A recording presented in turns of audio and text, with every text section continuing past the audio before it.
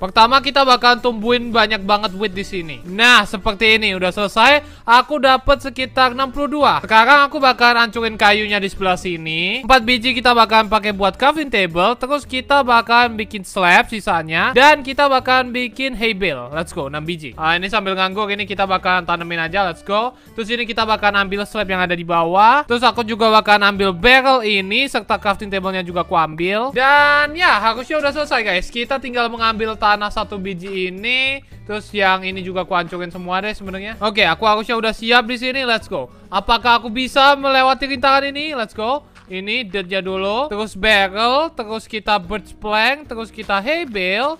Terus kita langsung ke slab. Huh. Nah.